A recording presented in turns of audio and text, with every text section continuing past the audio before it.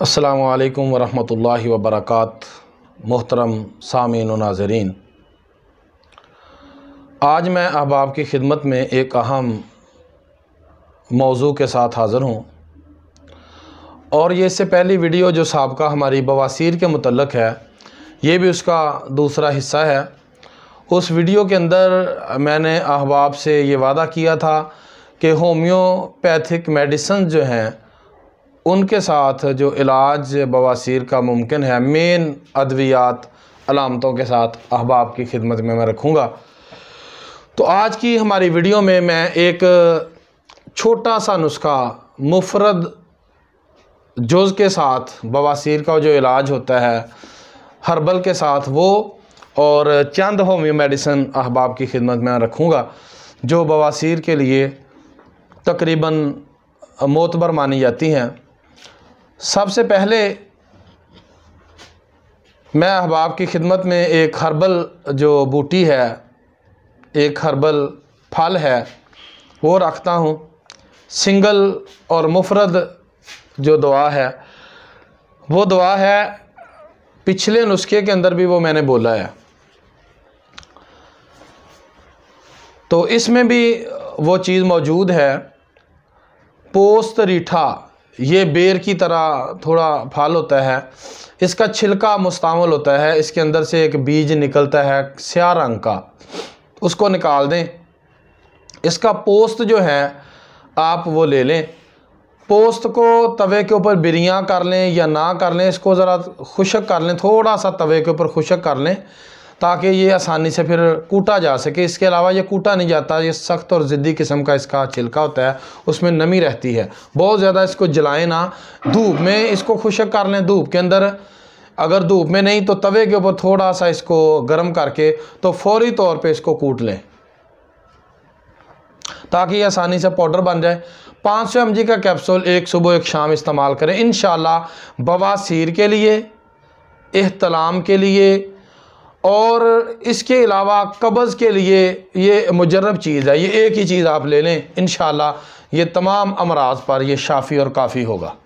अल्लाह के फ़ज़ल से।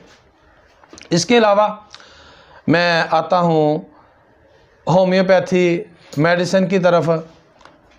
ऐसा दर्द बवासीर के अंदर जो नाकबले बर्दाश्त हो, दर्द हो जिस बवासीर के अंदर और मरीज़ को चलते फिरते दर्द महसूस होता है। बैठे रहे तो सुकून महसूस करता है, चलते फिरते उसको दर्द महसूस होता है, तकलीफ़ होती है। इसमें कास्टिकम कास्टिकम थर्टी आप इस्तेमाल करवाएँगे। पाँच पाँच, सात सात, दस दस कतरे सुबह, दोपहर, शाम, खाने के आधा घंटा पहले या खाने के आधा घंटा बाद। अगर मरीज़ को जरियान खून हो, खून जारी हो, कमर के अंदर भी दर्द हो और ज़िद्दी किस्म की कब्ज़ भी हो, क्योंकि इसकी मेन जो वजह होती है वो कब्ज़ होती है। इसमें कब्ज़, भारी शकील अशिया और ज़्यादा खट्टी, सुर्ख मिर्च वाली, मसाले, तेज़, ये चीज़ें जो हैं, ये नुकसानदेह होती हैं। और कब्ज़ से ख़ास कर बचना चाहिए इस मरज़ में, वो ज़्यादा नुकसानदेह होता है। तो इसमें आपने क्या करना है? इसमें बाज़ात मस्से या मौके भी बाहर होते हैं और बाज़ात कब्ज़ वाली पोजीशन भी बन जाती है और असहाल भी, मोशन भी लग जाते हैं। ये तमाम अलामत में अगर कोई अलामत आपको मिलती है, ये औरतों में ज़्यादातर मुस्तमल होती है। इसमें आपने क्या करना है? Colon Sonia colon Sonia, thirty में आपने इसको इस्तेमाल करना है। इसके अलावा अगर जचगी के बाद, डिलीवरी के बाद कब्ज़ महसूस होती है और बवासीर महसूस करती है औरत। डिलीवरी के बाद, बच्चे की पैदाइश के बाद तो इसमें खरूज मकद भी होता है, जिसको हम कांच निकलना कहते हैं। ये भी हो सकता है, शदीद कब्ज़ भी हो सकती है। इसमें अगर बवासीर पाई जाती है तो इसमें पोडोफाइलम पोडोफाइलम थर्टी आप इस्तेमाल करवा सकते हैं। अगर खून बह रहा है, लेकिन दर्द नहीं है, बाज़ ऐसे भी केसेस सामने आते हैं खून बहता है, लेकिन दर्द मरीज़ महसूस नहीं करता। इसमें कमज़ोरी कमज़ोरी, नकाहत मरीज़ महसूस करता है, सुस्ती महसूस करता है, लेकिन खून का रंग जो है वो बहुत गहरा होता है। भूख बढ़ जाती है मरीज़ की, और बाज़ात मरीज़ बेहोश हो जाता है, सांस गुम हो जाती है। इनमें से कोई अलामत अगर आप महसूस करते हैं तो hamamelis hamamelis thirty में आप इस्तेमाल करेंगे। तो इस तरह ये मेन अलामतें मैंने दो, तीन, चार अद्वियात जो हैं होम्योपैथी अहबाब के सामने रखी हैं। तो इसके अलावा एक नुस्खा भी मैंने दिया है, एक सिंगल दवा जो है, पोस्त रीठा, वो आप सिर्फ़ लें। देसी जो अद्वियात हैं, उनके अंदर बेशुमार नुस्खा जात हैं।